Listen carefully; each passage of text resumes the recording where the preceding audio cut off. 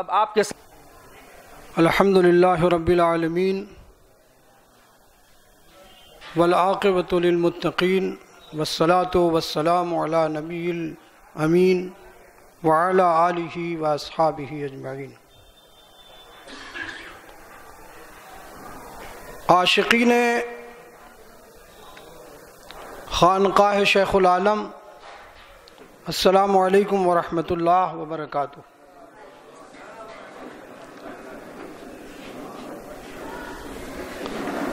آپ حضرات کی ہر سال کی یہاں حاضری ہے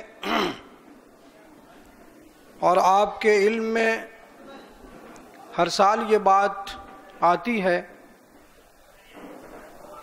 کہ یہاں عرس کے رسومات کے ساتھ ساتھ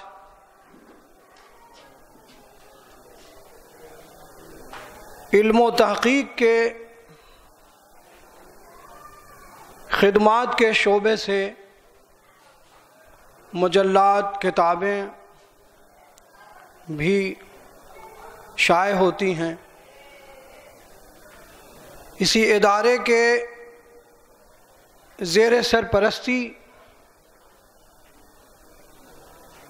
ایک عظیم علمی سیمینار کا انعقاد بھی کیا گیا ہے، جو کچھ ہی دیر میں حضرت صاحب سجادہ کی حضوری میں اس سیمینار کا آغاز، باقاعدہ آغاز کیا جائے گا۔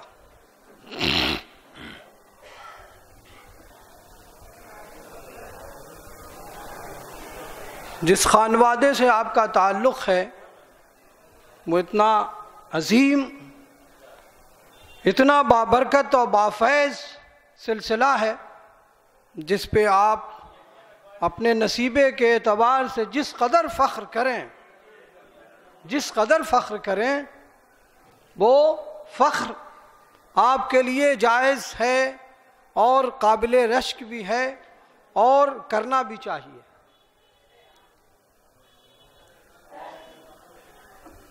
آج کا سیمینار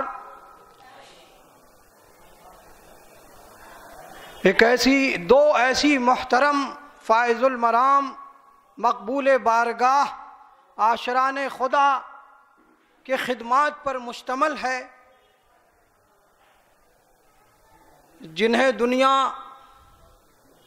سلسلہ چشتیت کی اساتین، اولین، آخرین اور اہم ترین فیوز و برکات کی منبع جانتی ہے وہ ذات ہے حضرت خواجہ شمس الدین ترک پانی پتی کی اور دوسری ذات حضرت مولا خواجہ مخدوم جلال الدین کبیر الاولیاء سلطان جلال الدین کبیر الاولیاء کی۔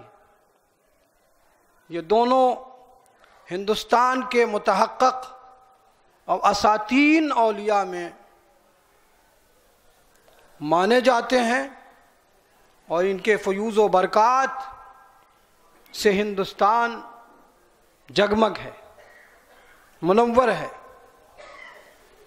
ہندوستان اور بیرون ہندوستان یعنی پورے دنیا میں اس سلسلے کی ایک شناخت ہے، ایک سورس ہے اور اس سلسلے کا چشمہ جاری ہے۔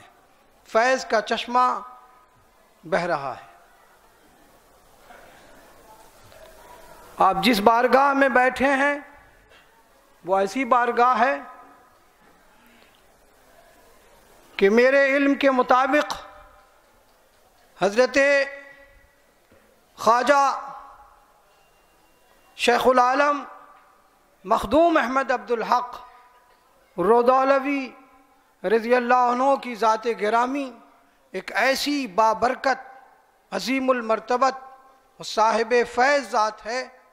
جن کے مجاہدے، جن کے عبادات حضرت سیدنا شیخ میرا محی الدین عبد القادر جیلانی کے پچاس سال کے مجاہدے کے بعد اگر ہندوستان کی سرزمین پر کوئی ایسا امام المجاہدین پیدا ہوا تو وہ صرف صفحے اولین میں حضرت مخدوم شیخ العالم احمد عبدالحق کی ذات ہے۔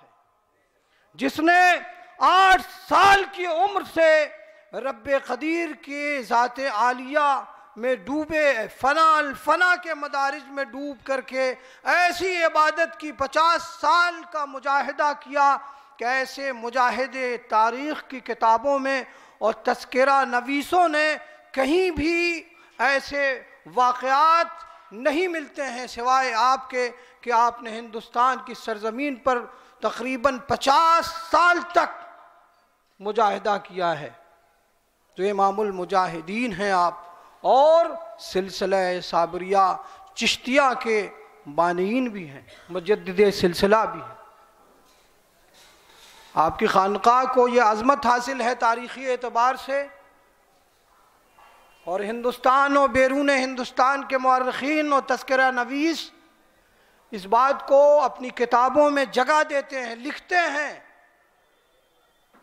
کہ جس زمانے میں خان، نظامی خانقاہوں میں تعلیم و تعلم کا کام چل رہا تھا، تبلیغ و ارشاد کے کام چل رہے تھے اور کوئی باقاعدہ نظام، سلسلہ صابریہ چشتیہ کا باقاعدہ نظام اس ہندوستان پر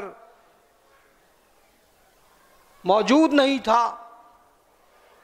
تو حضرت غوث دورہ قطب عالم، شیخ العالم مخدوم احمد عبدالحق رضی اللہ انہوں نے ہندوستان کے تمام شہروں کا تقریباً تقریباً زیادہ تر شہروں، معروف شہروں کا آپ نے دورہ کیا۔ اور باقاعدہ اس سلسلے کو تر، کی ترویج و اشاعت کے لیے اس کو فروغ دینے کے لیے، اس کو ارتقائی منزل تک پہنچانے کے لیے آپ نے باقاعدہ مطالعہ کیا پورے ہندوستان کی سطح پہ کہ کس طرح سے اور کس شکل میں خانقاہ چشتیہ صابریہ کے کی ایک باضابطہ نظام کے ساتھ باقاعدہ خانقاہ قائم کیا جائے۔ تو کوئی ایسی خانقاہ اس سرزمین پر نہیں تھی، صابری سلسلے کی، جو ہندوستان کی قیادت کرتی، سیادت کرتی۔ چنانچہ آپ نے اسفار کے ذریعہ ان تجربات کا مطالعہ کیا اور پھر آپ نے ردولی میں باقاعدہ ایک باقاعدہ سلسلہ سلسلہ صابریہ کے نظام پر مشتمل اور اس اصول و ضابطے کے ساتھ آپ نے ایک عظیم خانقاہ، روحانی خانقاہ قائم فرمایا، اس کی بنیاد رکھی، جس فیض کو آج آپ موسم موسم بہارہ کی شکل میں آپ دیکھ رہے ہیں اور جس سے جس سے آپ فیضیاب ہو رہے ہیں۔ یہ حضرت شیخ العالم کی عطا کردہ نعمت ہے۔ یہ وہ جگہ ہے جس کو شیخ العالم نے اپنے مجاہدے اور اپنے مطالعے کے ذریعہ سے اس کو سنوارا، بنایا، ترتیب دیا اور ایک نظام قائم کیا صابریہ کا، جس سے پوری دنیا اس وقت ہم ہی نہیں، بلکہ پوری دنیا میں جتنے بھی سلاسل اس سلسلے کے پہنچے ہیں، اسی اشیاخ، وہ تمام شاخیں وہ تمام اشیاخ اسی در کی محتاج ہیں۔ ممنون کرم۔ ہیں اور اسی لیے آپ کو سلسلہ صابریہ کا مجدد کہا جاتا ہے۔ سلسلہ صابریہ کا امام کہا جاتا ہے۔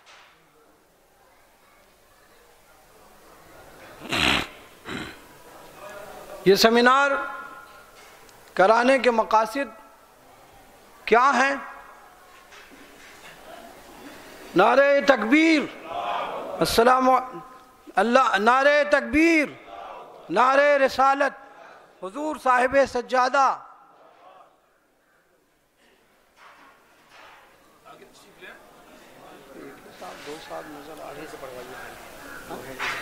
ہاں؟ ہے کہ یہ سیمینار زیر سرپرستی حضرت منصور اعجاز قدوسی نعمانی مز اللہ العالیہ صاحب سجادہ نشین، آستان صابریہ، کلیر شریف اور زیر صدارت حضرت شاہ عمار احمد احمدی عرف نیر میاں صاحب، زید کرمہو صاحب سجادہ آستان عالیہ مخدوم پاک رودولی شریف کے انعقاد کیا جا رہا ہے۔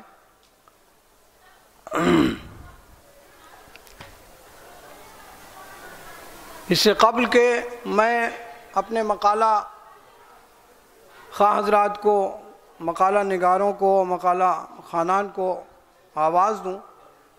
ایک افتتاحی خطبہ، جیسا کہ اس کا ایک رکن ہے اس سیمینار کا، اسے بھی پیش کرنا ضروری ہوتا ہے۔ تو وہ پیش کر دیا جاتا ہے۔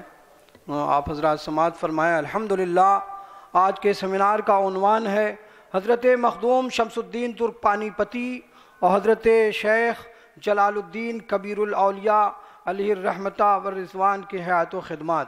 یہ سمینار تاریخ کے ایک نئے باب کو روشن کرتا ہے۔ یہ خانقاہ حضرت شیخ العالم تقریباً چھ سو سال سے معرفت الہیہ کی تعلیم و تبلیغ اور تذکیر میں خاص شان سے سرگرم اور متحرک ہے۔ یہاں کے سجادگان اپنے وقت کے علماء و فضلہ علماء اور فضلہ اور صاحب مرتاز تھے۔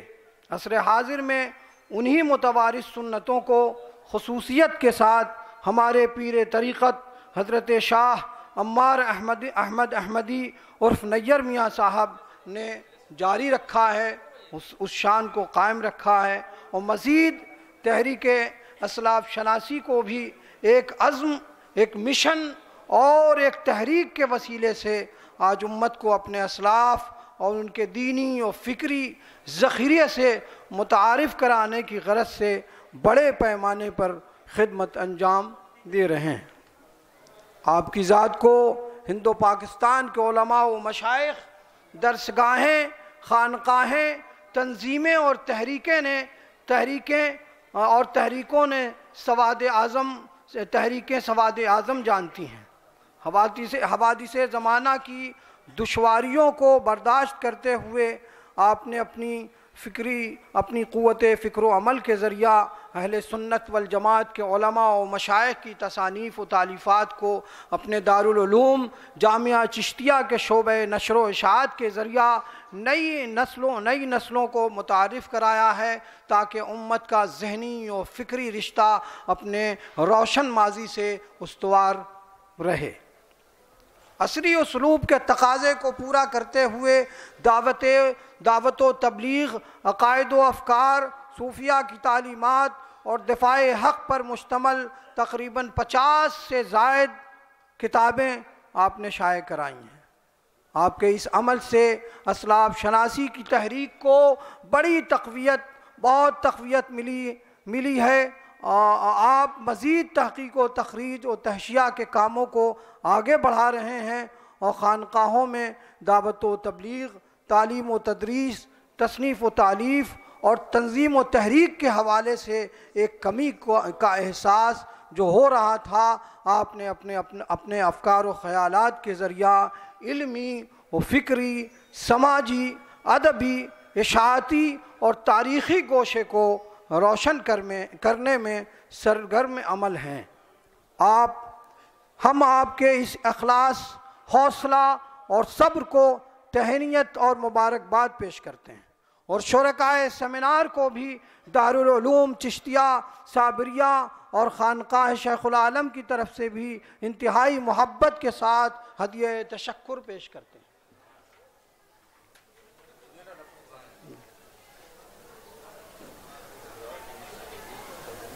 وقت کی قلت کے بعد سے مقالے کو زیادہ طول نہ دیا جائے اور اس کا بریف تلخیص مختصر طور پہ آپ پڑھ دیں اور کم وقت لیں، پانچ منٹ، چھ منٹ میں اپنے مقالے کو سمیٹنے کی کوشش کریں۔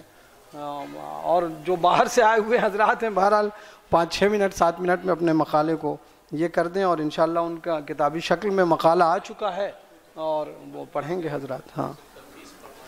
تو ہم مفتی رضا الحق صاحب ہیں۔ اچھا اچھا۔ علم و ادب کے ایک محقق جو دنیا علم و ادب میں بڑی معروف شخصیت کی حامل ذات ہے اور دنیا انہیں جانتی ہے۔ آپ نے بڑا کام کیا ہے علم و ادب کے لحاظ سے۔ کتابیں آپ کی تصنیف ہوئی ہیں بڑے علمی موضوعات پر۔ اور بہت ہی ادق موضوعات پہ آپ نے علم و تحقیق و تخریج و تحشیہ کا کام کیا ہے۔ جناب،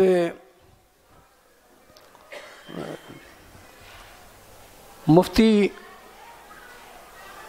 جناب مفتی رضاء الحق اشرفی مصباحی راج محلی صدر شعبہ تحقیق و تصنیف، السید محمود اشرف دار التحقیق چوچا شریف سے آپ تشریف لائے ہیں۔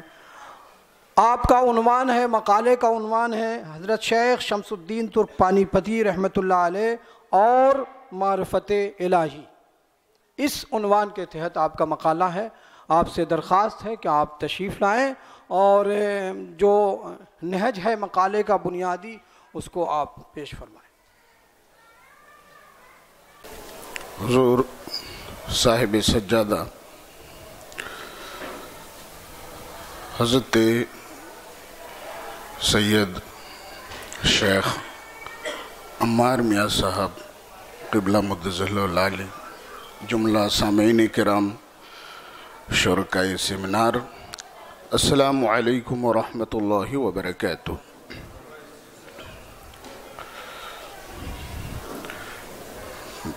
میرے مقالے کا عنوان ہے شیخ شمس الدین ترک پانی پتی رحمۃ اللہ تعالی علیہ۔ اور معرفت الہی۔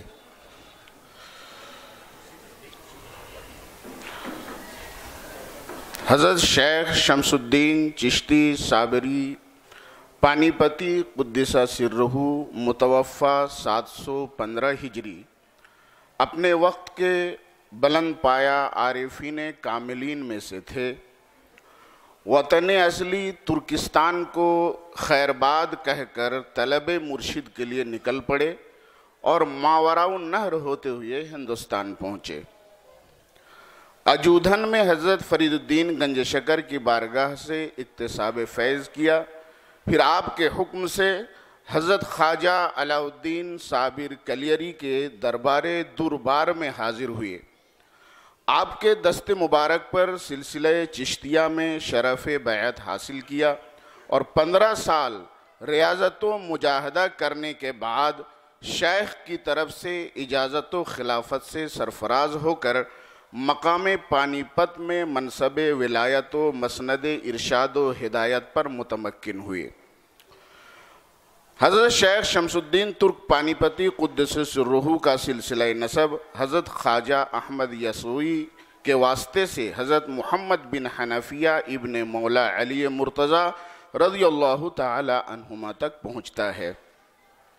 واضح رہے کہ حضرت مخدوم اشرف سمنانی علیہ الرحمہ کا نانحالی رشتہ بھی حضرت خواجہ احمد یسوئی سے ملتا ہے۔ خزینت الاسفیہ ملخصاً۔ معرفت الہی کیا ہے؟ جس بندے کو اللہ کا جتنا زیادہ خوف ہوتا ہے، اس کو اللہ کی اتنی زیادہ معرفت ہوتی ہے۔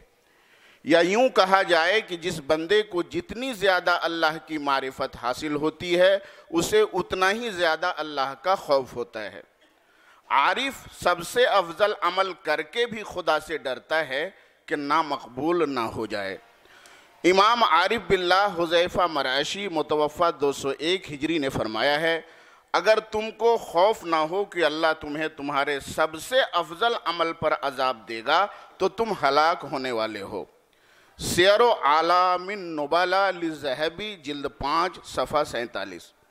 اللہ تبارک و تعالیٰ نے اپنے انہی بندوں میں، انہی بندوں کی مدح سنائی کرتے ہوئے ارشاد فرمایا مدہ سرائی کرتے ہوئے ارشاد فرمایا ہے، انما یخش اللہ من عبادہ العلماء، سورة الفاتر، آیت نمبر اٹھائیس۔ یقیناً اللہ تعالی کے بندوں میں سے علماء ہی اللہ سے ڈرتے ہیں۔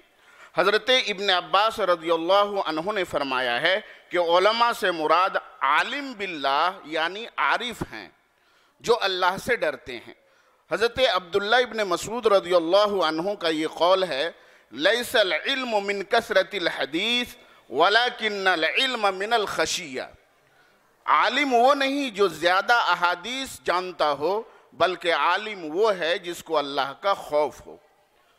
حضرت مالک بن انس رضی اللہ عنہ کا ارشاد ہے، ان العلم لیس بکثرت الروایہ انما العلم نور یقذفہ اللہ فی القلب. کثیر روایات جاننے کا نام علم نہیں۔ علم ایک نور ہے جسے اللہ دل میں ڈال دیتا ہے۔ تفسیر در منصور لسیوتی حصول معرفت۔ شیخ شمس الدین ترک قدسہ سرہو نے علوم شریعت کی تحصیل سے فراغت حاصل کرنے کے بعد معرفت خداوندی کے حصول کے لیے وطن عزیز کو ترک کر کے حضرت مخدوم صابر کلیری کی بارگاہ میں حاضری دی، کیونکہ انہیں معلوم تھا کہ کسی عارف باللہ شیخ طریقت سے علوم معرفت حاصل کیے بغیر دل میں وہ نور الہی داخل نہیں ہوتا جو ہدایت کا سبب ہے۔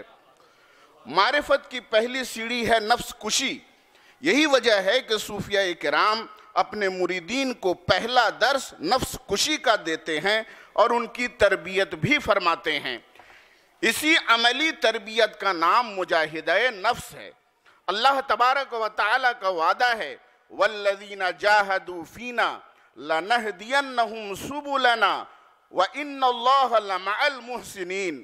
سورة الانکبوت آیت نمبر 68 اور جنہوں نے ہمارے بارے میں مجاہدہ کیا ہم انہیں ضرور ضرور اپنی راہوں پر چلائیں گے اور یقیناً اللہ احسان والوں کے ساتھ ہے۔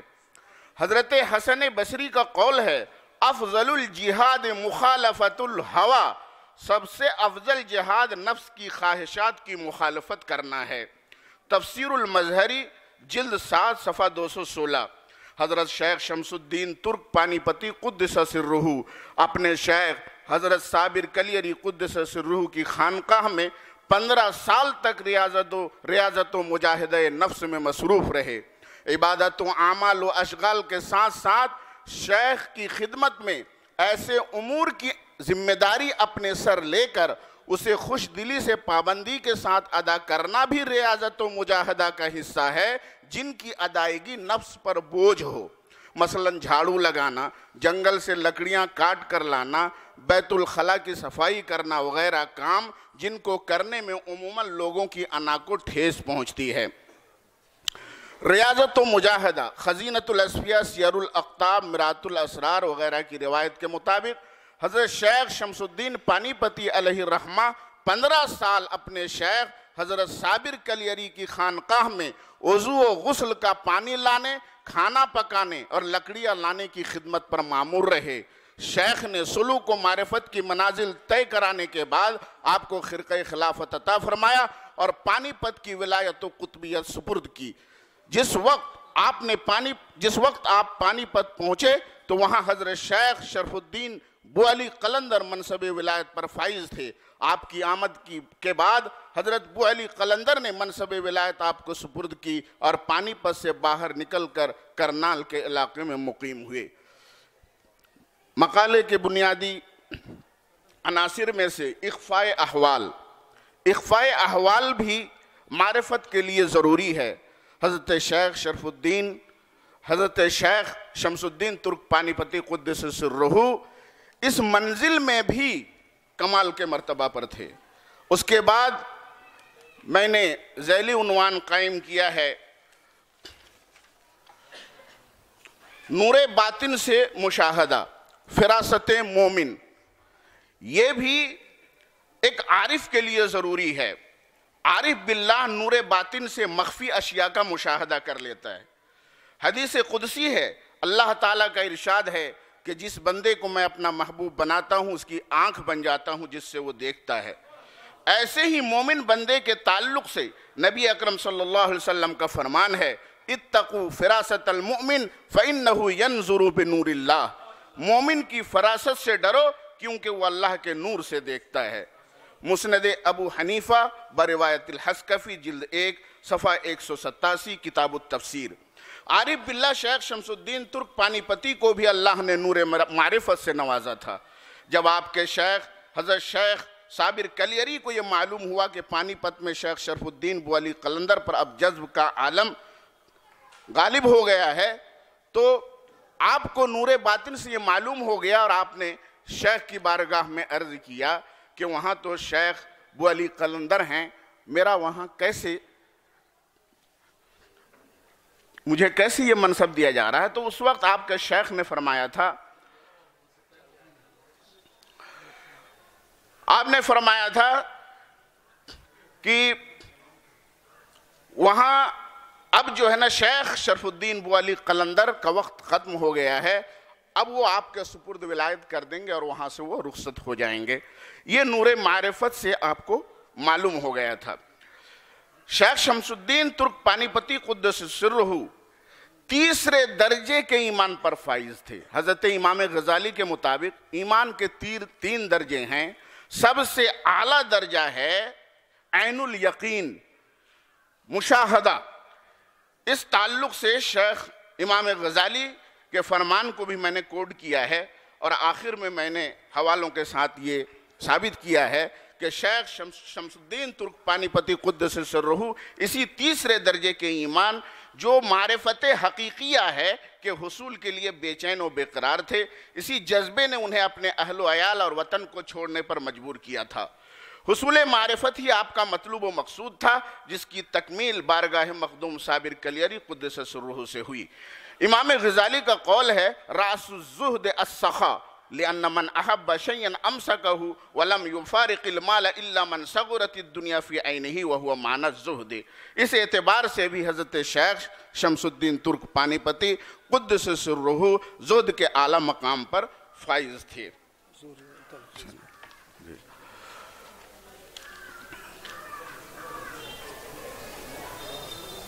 میں نے اپنے مقالے کا تلخیصی پڑھا۔ اب وقت کا لحاظ کرتے ہوئے میں اپنے بچے خوش کر مفتی مفتی میں، ہمارے فہرست میں ایک نام ہے جو بہت ہی یہ بھی بہت ہی معتبر اور معروف شخصیت ہیں، جناب ڈاکٹر سیف اللہ سیفی صاحب، جو جامعہ ملیہ کے ہسٹری شعبے میں آپ ہیں، استاذ ہیں، اور آپ نے بہت درجنوں کتاب ہسٹری کے موضوع پر لکھی ہیں اور بہت سارے مقالے ہیں، اور زیادہ تر آپ انگریزی میں مقالے لکھتے ہیں۔ اور آپ نے برکات مارہرہ شریف کی خانقاہ کی ایک کتاب برکات برکات مارہرہ کی بھی، کا بھی آپ نے ہندی میں وہ کیا ہے، لکھا ہے اس کو۔ تو آپ سے التماس ہے کہ آپ آئیں اور اپنے مقالے کو پیش کریں۔ ایک بات شیخ کی طرف سے ضروری طور پر ہم یہ گزارش کر دیں کہ مقالے کو پڑھیں اور تفصیل نہ پڑھیں، بلکہ تھیم کو پڑھ دیں اور مختلف جگہوں سے جو بنیادی باتیں ہیں وہ پیش کر دیں۔ جو منہج ہے وہی پیش کر دیں۔ میں اس موقع پر اپنا خوشگوار فریضہ سمجھتا ہوں کہ حضرت صاحب سجادہ اور ناظم سیمینار کا شکریہ ادا کروں کہ مجھے اس سرزمین پر آنے کا موقع ملا۔ میرا میرے تحقیق کا موضوع اکثر وسط ایشیا کی تاریخ ہے۔ اس میں بھی بخارا۔ بخارا اور سمرقند کے بارے میں کہا جاتا ہے۔ کسی نے کہا ہے کہ بخارا قوت اسلام و دین است، سمرقند سیکل روئے زمین است۔ مگر یہاں پہ میں تھوڑا سا اس تعریف کرتے ہوئے کہنا چاہوں گا کہ اگر یوں کہا جائے کہ یو پی سرزمین سیقل روئے، ہند است اور ردولی قوت اسلام الدین است۔ تو مبالغہ نہیں ہوگا۔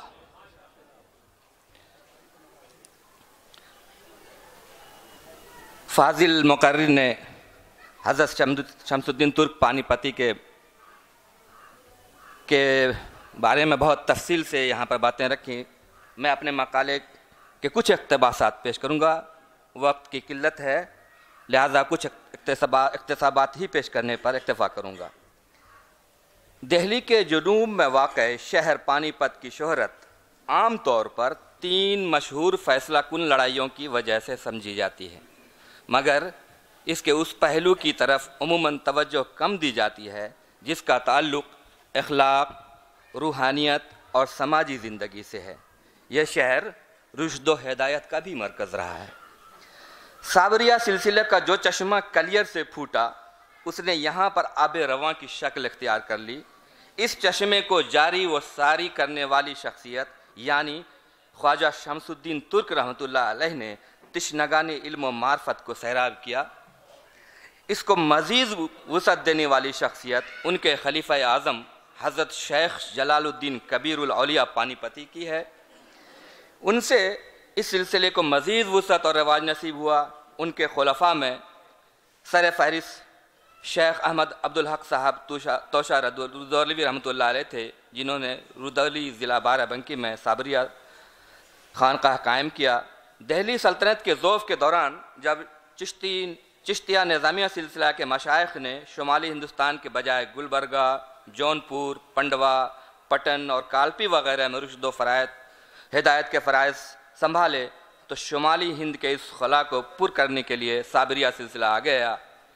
فیروز شاہ تغلق کے عہد سے لے کر مغل شہنشاہ ہمایوں کے دور حکومت تک اس کے متعدد صوفیہ کرام نے رشد و ہدایت کی مجالس کے ذریعہ جو روحانی فضا تیار کہی کی، بفضل ہی تعالیٰ آج تک وہ قائم و دائم ہے۔ جس زمانے میں اجودھن میں حضرت فرید الدین گنج و شکر رحمۃ اللہ علیہ کا دربار سجا ہوا تھا جہاں درد دل کے مریض شفا پاتے تھے، اسی زمانے میں ترکستان کی سرزمین سے چل کر ماورا النہر ہوتے ہوئے طلب حق کی راہ کا ایک مسافر آیا، یہاں آ کر قیام کیا۔ کچھ عرصہ بابا فرید رحمۃ اللہ علیہ کی خدمت میں رہ کر ان کے دست حق پرست پر بیعت کا منشا ظاہر کیا۔ مگر حضرت مخدوم گنج شکر رحمۃ اللہ علیہ نے ان کو خلافت عطا کر کے کلیر شریف جانے کا حکم دیا۔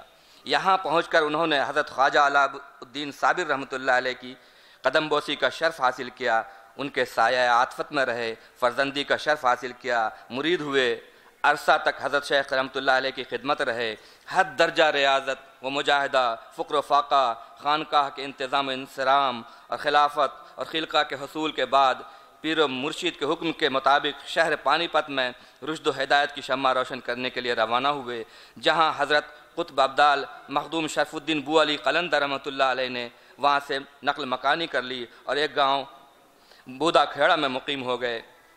ان دونوں بزرگوں کے درمیان اخلاص و محبت کا اخلاص و محبت ہمیشہ قائم رہا۔ اور حضرت خواجہ شمس الدین ترک پانی پتی کے زود تقوی اور دوسری کمالات کے واقعات کو میں چھوڑتے ہوئے آگے بڑھتا ہوں۔ ایک بات جو عام طور پر عوام میں یہ ہے کہ حضرت کچھ لوگ حضرت خواجہ شمس الدین ترک کہتے ہیں، کچھ لوگ ترک کہتے ہیں، ترک پانی پتی۔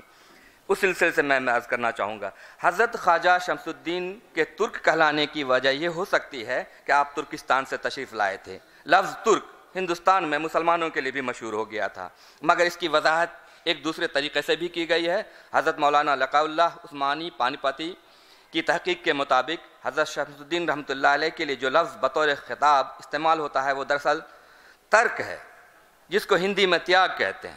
اس تیاگ کی عظیم مثال یہ ہے کہ آپ نے اپنا وطن، اہل و عیال، مال و متا سب چھوڑ دیا۔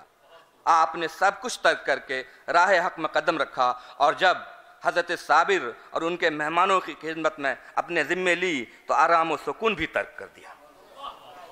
اہل و عیال کو چھوڑ کر تجرد کی زندگی بسر کی۔ صوفیوں کے ہاں ترک کی بڑی اہمیت بتائی گئی ہے۔ مشہور ہے کہ صوفی کے دل سے جب تک دنیا میں پھنسے رہنے کی خواہش دور نہیں ہوتی، ہو جاتی، وہ اپنے منزل سے بہت دور رہتا ہے۔ مال و دولت اور دنیاوی حرص و تما سے پرہیز ہی ترک کہلاتی ہے۔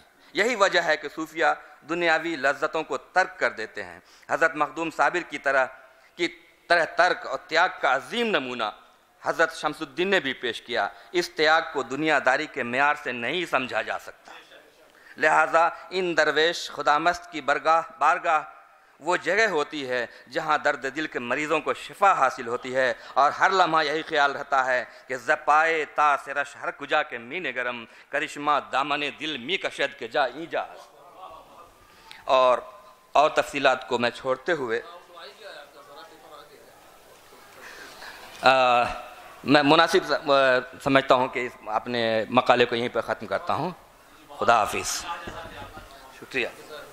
بہت بہت شکریہ۔ ان کے بعد اپنے مہمان گرامی جناب ڈاکٹر سعید بن مخاسم مخاشن کو میں چاہتا ہوں کہ وہ آئیں اور اپنا مقالہ پیش کریں۔ آپ کے مقالے کا عنوان ہے انسانیت کی بقا میں اخلاقیات کا کردار۔ تعلیمات تصوف کے خصوصی تناظر میں الحمد لله الحمد لله الذي خلق الإنسان وزينه بمحاسن الأخلاق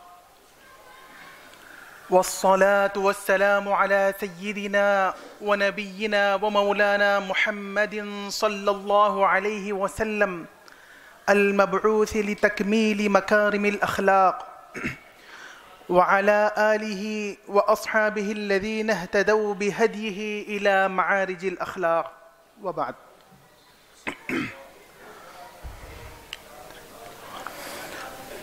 حضور صدر علی وقار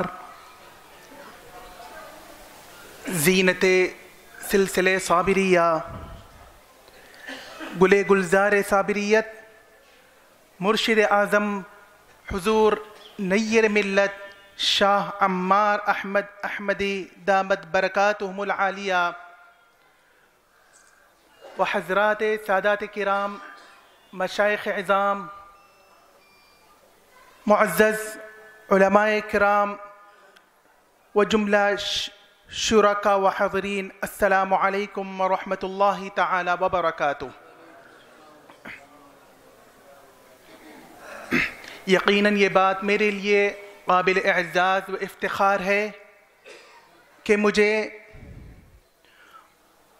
حضور شریعت آگاہ، معارف دستگاہ، شیخ العالم، شیخ مخدوم احمد عبد الحق ردولوی علیہ الرحمت والرضوان کے چھ سویں عرس سرابا قدس کے مبارک و مسعود موقع کے ضمن میں منعقدہ اس علمی سیمینار میں نہ صرف شرکت بلکہ کچھ کلمات بھی پیش کرنے کا موقع میسر ہوا۔ حاضرین اکرام، میرے مقالے کا عنوان ہے انسانیت کے بقا میں اخلاقیات کا کردار، تعلیمات کے تعلیمات تصوف کے خصوصی تناظر میں۔ چونکہ مقالہ مکمل چھپ چکا ہے اسی لیے مکمل مقالہ پیش کرنے کے بجائے اس کی تلخیص پیش کی جاتی ہے۔ انسانی تاریخ اس بات کی شاہد ہے کہ انسانیت نے سب سے پہلے اخلاقیات کا لفظ، معنی اور مفہوم انبیاء کرام علیہم والسلام کے افعال مقدسہ اور اقوار مبارکہ سے جانا۔ یہی وہ نفوس قدسیہ ہیں جنہوں نے انسانیت کو اخلاقیات کے مزین لباس اور مرسہ اکلیل سے زینت بخشی اور اپنی قوموں کے سامنے بد اخلاقی کے تیز تند آندھیوں کے باوجود اخلاقیات کے چراغوں کو روشن کیا، جس کے فیضان نور سے بد اخلاقیوں کی ظلمت رفتہ رفتہ کافور ہوتی گئی اور انسانی افراد پر مشتمل ایک سال معاشرے کی تشکیل عمل میں آئی۔ تعلیمات تصوف کا مرکز و محور تزکیہ نفس اور اس کا عملی مظہر اخلاق کریمانہ ہے، جو کہ انسانیت کی بقا کے لیے لازم و ملزوم کا درجہ رکھتے ہیں۔ در حقیقت تزکی نفس ہی سرور کائنات حضور احمد مشتبہ محمد مصطفیٰ صلی اللہ علیہ وسلم کی بعثت کا مقصد ہے۔ اللہ تعالیٰ ارشاد فرماتا ہے لقد من الله على المؤمنين إذ بعث فيهم رسولا من أنفسهم يتلو عليهم آياته ويزكيهم ويعلمهم الكتاب والحكمة. سورة آل عمران آیت نمبر 164 بے شک اللہ نے مسلمانوں پر بڑا احسان فرمایا کہ ان میں انہی میں سے ایک رسول بھیجا جو ان پر اس کی آیت تلاوت کرتے ہیں اور ان کا تزکیہ کرتے ہیں اور انہیں کتاب و حکمت کی تعلیم دیتے ہیں۔ اس آیت میں تزکیہ کے ساتھ تلاوت آیات اور تعلیمات کتاب و حکمت کا جو ذکر آیا ہے، وہ تزکیہ کے وسائل اور ذرائع ہیں۔ حاضرین اکرام راہ ہدایت سے بھٹکی ہوئی انسانیت کو دوبارہ جاد حق پر گامزن کرنے کے لیے انبیاء اکرام علیہ والسلام کی بعثت کا سلسلہ حضور احمد مشتبہ محمد مصطفیٰ علیہ تحیت والثناء پر مکمل ہو گیا۔ اب جب کبھی مسلمانوں کے ایمانی حرارت میں اس محلال دینی جذبے میں پشمردگی، اعمال میں کوتاہی اور اخلاقی اقدار میں انحطاط طاری ہوتا ہے۔ دنیا نظر اٹھا کر ان نفوس عالیہ کے آمد کی منتظر رہتی ہے، جو تمام عالم کو اخلاق کریمانہ کے بھولے ہوئے اسباق دوبارہ یاد دلا کر ان کے سروں پر عز و شرف کے تاج رکھتے ہیں۔ جن کی ایک نظر عنایت سے دلوں کے حال بدل جاتے ہیں اور کیمیا اثر صحبت سے ایمانی حرارت پیدا ہو جاتی ہے۔ یہی وہ نفوس عالیہ ہیں جنہیں آپ اور ہم اولیاء اللہ اور صوفیاء کرام کے نام سے یاد کرتے ہیں۔ جن کے علم و فضل اور رشت و ہدایت کا سورج دنیا کے ہر خطے میں طلوع ہوتا ہے اور ان کے تعلیمات اور فرمودات کے انوار سے دنیا کے تمام علاقے منور اور فیضان سے تمام خطے عرصے درا سے سیراب ہوتے آ رہے ہیں۔ جن کی صحبت بافیز دلوں میں اسلامی عوامر کی احکامات جا کزی کر دیتی ہے اور ان کی مجلس میں حاضر ہونے والا ہر شخص اسلامی اخلاق و کردار کا عملی نمونہ بن کر انسانیت کی صلاح، فلاح اور بقا کا ضامن بن جاتا ہے۔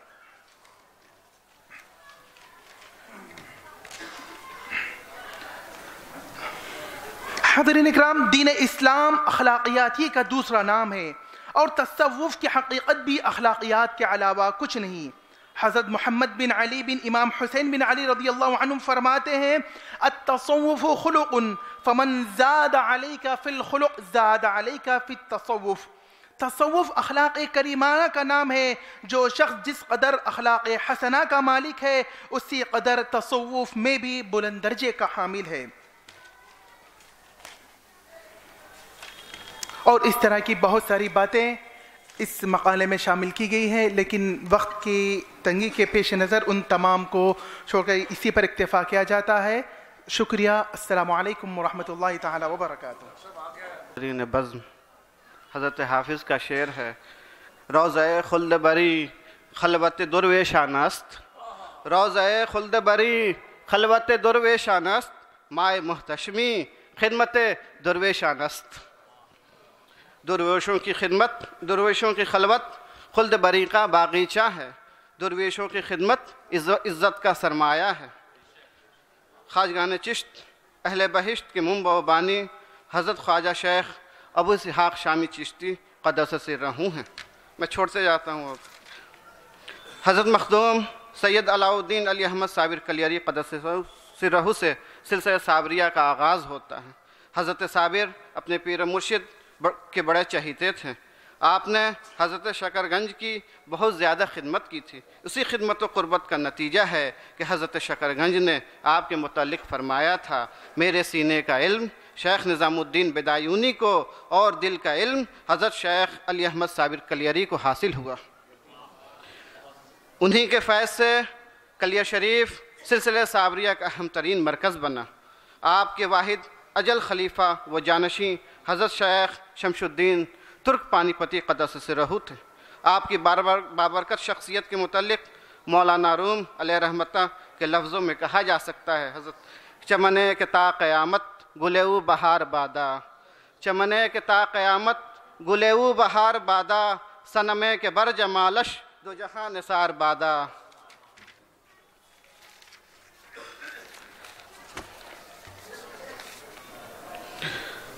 حضرت شمش الدین قدس سرہو کی حیثیت سلسلہ صابریہ کے فروغ میں بالکل شمس کی سی ہے۔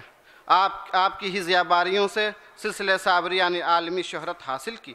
اس کے مقلدین نے صرف برصغیر ہی نہیں بلکہ دیگر ممالک کو بھی اپنے فیضان سے منور کیا اور جہان تصوف میں اپنی علاحدہ شناخت قائم کی۔ شکریہ۔ میں چاہتا ہوں کہ اپنے مقالے کو بھی مختصراً آپ کے سامنے رکھ دوں۔ حضور صاحب سجادہ کی اجازت ہے کہ میں پیش کروں۔ مجھے تو یہ فرائض جو حاصل ہے اس وجہ سے میں خود ریڈ بھی نہیں کر پاؤں، پایا ہوں کہ کہاں سے پڑھوں۔ بہرحال یہ پہلا اقتباس میں عرض کر دوں، اس کے بعد تھوڑا سا بیان کر دوں گا تلخیص پڑھ دوں۔ اب تو وقت وقت ہے تھوڑا سا، پڑھ دوں؟ نہیں۔ میرے مقالے کا عنوان ہے حضرت خواجہ حضرت مخدوم حافظ شمس الدین ترک پانی پتی رحمۃ اللہ علیہ اور تصوف و اخلاق۔ اولیاء کے اوصاف عالیہ اور اخلاق حسنہ قرآن و حدیث سے ثابت ہیں۔ یہ قابل تردید حقیقت ہے جس کا اعتراف ساری دنیا کرتی ہے۔ کہ اسلام کی تبلیغ و ارشاد میں اصل کردار صوفیہ کرام کا ہے۔ خصوصاً بر صغیر ہند و پاک کے صوفیہ نے مافوق الفطرت روحانی و اخلاقی قوت کے ذریعے ایسے کارنامے انجام دیے جو ہماری دینی و ثقافتی تاریخ کا سنہرا باب ہے۔ ہندوستان کی تاریخ میں چودہویں صدی عیسوی تصوف کے فروغ و ارتقاء کے لیے بڑی اہمیت کا حامل ہے۔ اس عہد میں سندھ، ملتان، دہلی، یو پی، بہار اور بنگال تک مختلف سلاسل کی صوفی تحریکیں فعال و سرگرم نظر آتی ہیں۔ ہندوستان میں سلسلہ چشتیہ کے بانی حضرت خواجہ معین الدین، سید معین الدین حسن، حسنی و حسینی چشتی سجزی اجمیری رحمۃ اللہ علیہ وسال چھ سو تینتیس ہجری نے اپنے اسکار ارشاد، ملفوظات، بے مثل رواداری، سوز، گداز اور خدمت خلق کے جذبے سے ایک ایسی قوم کے درمیان کام کیا جو فکر و عقیدہ کے اعتبار سے خدا نا آشنا تھی۔ ہندوستان کے اس دائی حق کا قول ہے کہ حق تعالیٰ اور اورا دوست میدارد، اول سخاوت چن سخاوت دریا و شفقت چن شفقت، آفتاب و توازہ توازو چن توازو زمین۔ خدا ان کو دوست رکھتا ہے جن کی سخاوت دریا کسی ہو، جن کی شفقت، آفتاب کی شفقت ہو اور جن کی توازو زمین کسی توازو۔ اخلاق کی ایک بڑی عظیم نمائندگی حضرت خواجہ اجمیری کے اس جملے سے ہوتی ہے۔ یہ بات میں عرض کر دوں، بہت ہی اہم بات جو مجھے لکھنی بھی ہے، ابھی اس پہ میں نے کام نہیں کیا ہے کہ ہندوستان کی سب سے تذکرے کے اعتبار سے نو سو ننانوے ہجری کی سب سے معتبر ترین کتاب آخری محدث وقت حضرت شیخ عبدالحق محدث دہلوی کی کتاب اخبار الاخیار ہے۔ جس میں بھی قطر بیونت ہوئی ہے اور ہمارے شیخ اعظم حضرت مخدوم صابر پاک کے تعلق سے جو مرت الاسرار میں ایک بنیادی و فاش غلطی راہج پا گئی ہے کہ حضرت مخدوم صابر پاک کو بنی اسرائیل کی اولاد قرار دیا گیا ہے، اس کے تعلق سے انشاءاللہ میں بہت جلد ایک تحقیقی اور علمی اور انتہائی مدلل انشاءاللہ مقالہ میں ارسال کروں گا، وہ انشاءاللہ چھپے گا تو آپ حضرات پڑھیں۔ اس پہ میں تاریخی طور پہ بحث کروں گا کہ کہاں کہاں غلطیاں کس طرح سے ہوئی ہیں۔ اور نصب نامے میں جو غلطیاں ہوئی ہیں اس کے تعلق سے بھی انشاءاللہ میں بحث کروں گا۔ ان کے انہوں نے ایک جملہ کہا ہے، خواجہ اجمیری کا جو بہت ہی چوم لینے کے قابل ہے، آپ فرماتے ہیں کہ جب حضرت خواجہ اپنے امیر اور شہزادے حضرت خواجہ قطب الدین کو ہندوستان کی سلطنت عطا کرتے ہیں، دہلی بھیج کر کے، تو آپ فرماتے ہیں کہ باکس کے دشمنی بود دوستی نمایت، و فرمود ہر جا کے روئے نہ خراشی جو تمہارے ساتھ دشمنی کرے، اس سے دو، اس سے دوستی کا برتاؤ کرنا اور کسی کو تکلیف نہ دینا۔ یہ آپ نے فرمایا۔ بہرحال اب میں تلخیص جی؟ بس جی؟ ہاں ہاں بس بس آخری میں پیش کر دوں ذرا سا۔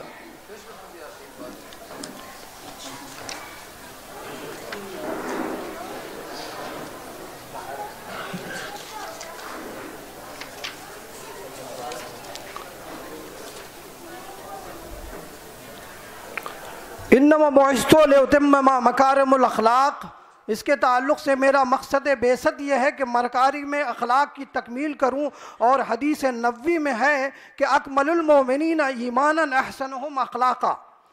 اہل ایمان سب میں سب سے زیادہ مکمل ایمان اس شخص کا ہے جس کا اخلاق سب سے اچھا ہے۔ ان آیات و حدیث سے دین میں اخلاق کی اہمیت اہمیت اچھی طرح واضح ہو جاتی ہے۔ بس ایمان ہی وہ منفرد جوہر ہے جو مومن کے اندر ترغیبات ترغیبات دنیا کو ٹھکرانے کی تاب و توا پیدا کرتا ہے۔ اس ایمان کے زمرہ میں، زمرے میں جو افراد ہیں، وہ عاشقین خدا اور کار نبوت کے جانشین صوفیاء باصفہ ہیں جو اخلاق کی طرف محض دعوت دینے ہی پر اکتفا نہیں کرتے، بلکہ وہ اخلاق کی بنیاد پر اصول و ضوابط وضع کر کے حدود اخلاق کے محافظ و مبلغ بن کر زندگی کے جزیات تک کے لیے اخلاقی نمونوں کا انبار لگا دیا۔